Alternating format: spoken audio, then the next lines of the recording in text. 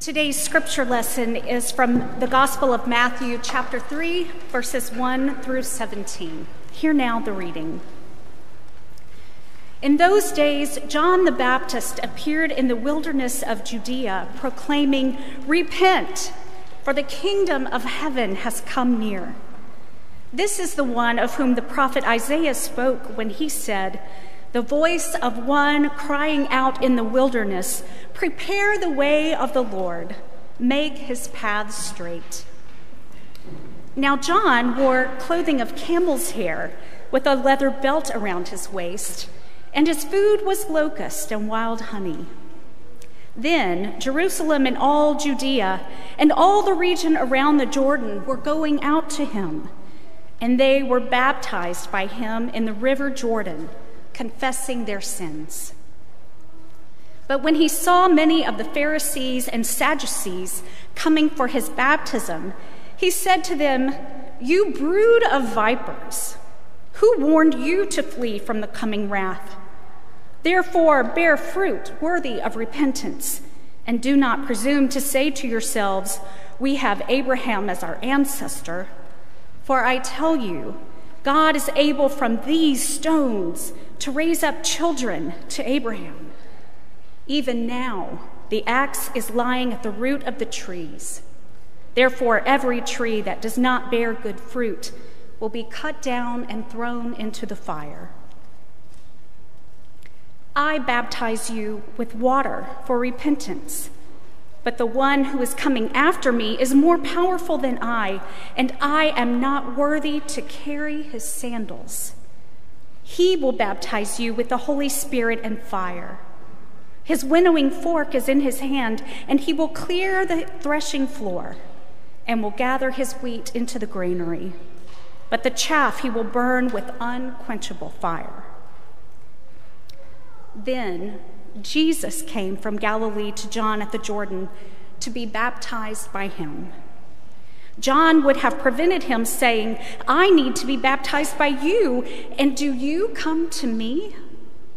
But Jesus answered him, Let it be so now, for it is proper for us in this way to fulfill all righteousness. Then he consented. And when Jesus had been baptized, just as he came up from the water, Suddenly the heavens were opened to him, and he saw God's Spirit descending like a dove and alighting on him. And a voice from the heavens said, This is my Son, the Beloved, with whom I am well pleased. The Word of God for the people of God. Thanks be to God. Well, it is my honor to introduce our guest preacher for this weekend. I met Derrick in February 2012 when he was the guest speaker at my high school youth group retreat. So we have been friends just shy of 11 years now. It's hard to believe. For more than the last decade, he has served as a campus minister and was the founding executive director of Campus to City Wesley Foundation the United Methodist Campus Ministry, serving students in Northeast Florida at the University of North Florida, Jacksonville University, and Flagler College. More recent endeavors include launching a, di- a, digital campus ministry platform called Studio Wesley to reach students and young adults who don't have an open and affirming campus ministry near them. Alongside his work to raise up a new generation of leaders and laborers who live as disciples of Jesus to transform the world, he serves as the co lay leader of the Florida Conference to empower the lay people in the church. He is a leader in the continuing open and affirming United Methodist Church. And he now and he also knows how to pour beer. He has served as a beer tender at a local Jacksonville brewery for a number of years now. Church leader, lay leader, minister, beer tender. Also, in his bio in the back, you will get some fun facts about him, including that he absolutely dislikes mayonnaise, of all things. I thought about surrounding the pulpit with mayonnaise just for fun, but decided against it. In all seriousness, God placed you in my life as I, as I was hearing the call to ministry 10 years ago. I didn't think I could do it, but you spoke powerfully to me and pushed me into leadership opportunities. As in our baptism, we recognize the powerful grace of God. You took your baptismal vows seriously by helping to create a faithful disciple of Jesus who lives a more loving, liberating, and bold life because of your faithful witness. So thank you. People of God, please welcome Derrick Scott.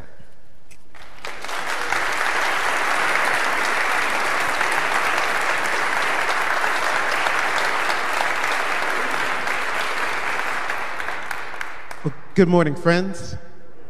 Awesome. Rushing, thank you. It is an honor to be here at your invitation. Um, just want you to know, uh, as he said, I'm a United Methodist campus minister and lay leader from the Florida Conference. And um, when folks found out that I was going to come up to Iowa to preach at Rushing's invitation, everybody was like, Can we come too? Um, because they love this human so much, and folks are so proud of the leader that he continues to be um, and grow into. And so I just want to cheer for you, my friend, and, and um, just so excited for all that you're doing. I also have to just say, Plymouth Church, y'all are pretty awesome, okay? Um, this choir right behind me, y'all don't even understand what y'all did to my soul this morning, so thank you. So beautiful. Um, I'm honored to be in front of you this morning. Um, and as Rushing told you uh, a moment ago, um, baptism uh, is, is a really important uh, sacrament in my world. It's something that I personally take seriously. Um, as much as I'd love to talk to you about United Methodism, I will not do that this morning. But I will take you back to the church I grew up in. I actually grew up in uh, a black Baptist church in Jacksonville, Florida. And um, we were that ministry family. We were the family who was in church four days a week on an easy week. Um, and I actually was baptized at four years old. It, it, was a beautiful sort of moment in my life that I actually do remember many aspects of uh, when I was baptized. And friends, I, I just, I have to tell you that the day that I was baptized, I had this sense even at four, I know I couldn't have used the words that I'm about to use now as four, but I had this sense that I was being invited into a story. I had this sense that, that Jesus, by his love, was inviting me to be a part of something so much larger than myself. And so the text this morning that was read, Matthew 3, is really special to me. Now, that the first part of it, John the Baptist is doing his thing, screaming and stuff like that. It's awesome. You should go back and read it later. It, you'll get a lot out of it. it. It's really, really fun, okay? But I, it's the last few verses that I actually would love to sort of uh, lean in on uh, because those last few verses were a part of the communion liturgy in the Black Baptist church that I grew up in. We had communion every first Sunday. And every first Sunday, we would recite words that included Matthew, the end of, Matthew, end of that Matthew 3 section. And so, if you can imagine this, for the better part of 20 years, I was just saying these words every first Sunday. Now, in the church I grew up in, we use the King James Version. And friends, I just want you to know I have issues with the King James Version, yes, and my theology's kind of moved on since then. But when you're six years old, sitting at church every first Sunday, preparing for communion, and you say these words, they get stuck in your brain. And the particular part that is stuck in there, even after all these years, it's the section where Jesus comes to his cousin John. He asks him to baptize him. And John essentially says to Jesus, Nah, bro. that, that's Revised Standard Version. Derrick Revised Standard Version, by the way. Nah, bro, like, I need you to baptize me. And here's what Jesus says back to him in the King James Version Suffer it to be so now, for thus it will fulfill all righteousness. Then he suffered him. Suffer it to be so now. Now, this is why I don't really like the King James Version of the Bible, because why would you put suffer there? Like, of all the words that you could put, suffer it to be so now. And the contemporary versions um, have changed. The, the, the, the, version that was read um, this morning was let, it, let this be so, I believe is what it says. But that image got stuck in my brain, friends. Suffer it to be so now. And I got this sense reciting these words every first Sunday, year after year, that there was something costly happening in this story. It was almost as if Jesus was walking up to his cousin John and he was saying, Hey, John, I'm inviting you into this story. And yes, it, it will cost you, John. You, you have been this firebrand of, of a leader on the edge of town, baptizing people, yelling at religious leaders. You think that John really has already has a role in the story, and he does. But I think in this moment where he is invited to play a different role, I mean, if he does this, he will be the one known for baptizing God incarnate. It was an invitation into a larger story. It was almost as if, I think, Jesus was saying, Get off the sidelines. Yes, it'll cost, but suffer it to be so now. Again, that image, that image that to step into the story may cost, but it is the invitation that is actually available to each one of us. I think about how this weekend, in addition to being baptisms, uh, baptism of the Lord weekend, it is also um, the weekend that we celebrate Martin Luther King Jr. and his work in this world. And I think about this preacher, this southern black preacher, who could have easily sort of said, you know what, I have enough to do. I'm a preacher, I'm a pastor, I'm a theologian. I have members and people to tend to, funerals and weddings and pastoral care. You know, adding on being the center of the civil rights movement, that's just a lot. And no one would have blamed him in 1940s, 1950s, 1960s America for saying, you know what, it's, it's too much. I'll just stay over here. But I wonder if MLK ever heard the Spirit say to him, Suffer it to be so now. I mean, it'll cost. And you got a choice. You don't have to. But if you are willing to step into this story in a different way, it will change the world. I've got many stories like this for my own life. One in particular is when, um, you know, when Rushing met me, I was in the closet and I was happy.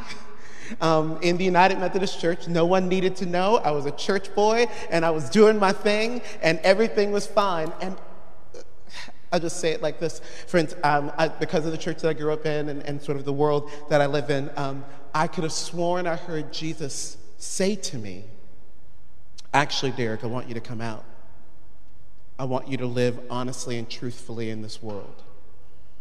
Again, I grew up in a church where, you know, hearing Jesus wasn't a weird thing, so I'm good, y'all. Everything's cool. But I did, can't act like I didn't hear it. I could have sworn I heard Jesus say, I want you to come out and live in truth. And, and because of the church that I grew up in, I, I you know, hearing that voice, um, I just told Jesus no. Because I was fine. I was, I was moving in leadership in the United Methodist Church in Florida and a campus minister now over 20 years. No one needed to know this detail. It was just one mere detail. No one needed to know. But I got this sense that Jesus was saying, suffer it to be so now. Yes, it's going to cost. And I was busy, so I was like, is there really more? Oh my gosh, y'all, there was so much more.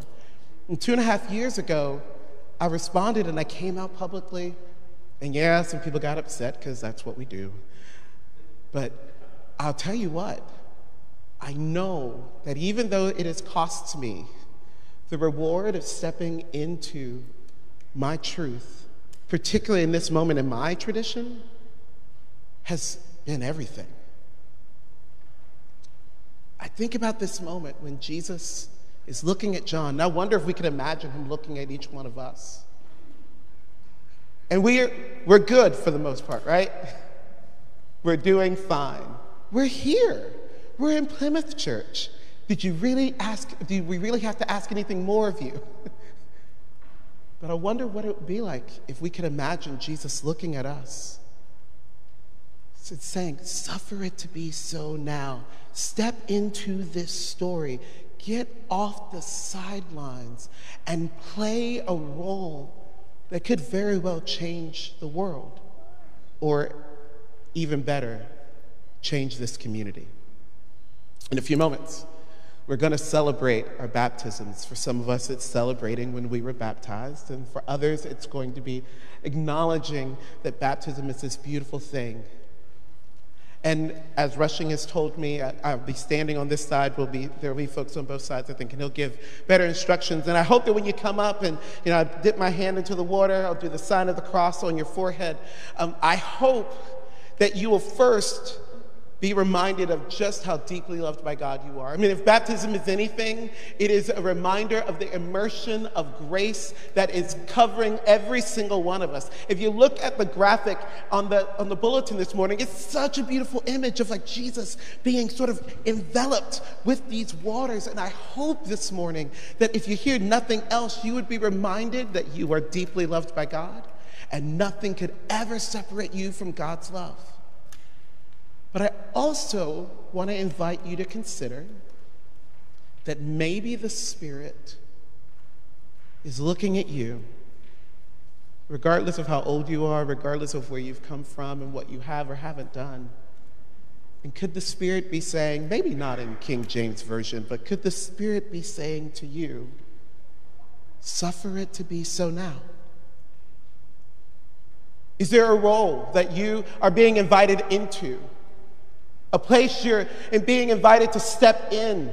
Maybe it's an opportunity like Jesus to be identified with the least of these. I mean, this is what was said about him. This, this prophet, this Pharisee, maybe even, this, this man um, walking in the world is always being identified with tax collectors and sinners and prostitutes and drunkards. Jesus was identified with the least of these, with the marginalized and the rejected. And maybe, just maybe, your role that you're being invited into is to be deeply identified with those whom the world continues to push to the side.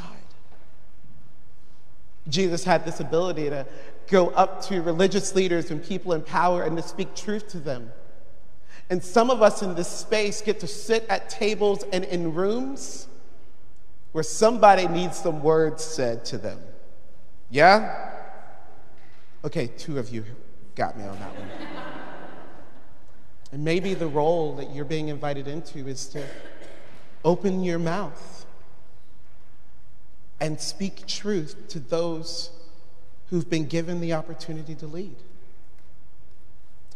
Maybe, you know, one of the beautiful things we know about Jesus is that he always did what he needed to do to get as close to human brokenness as possible.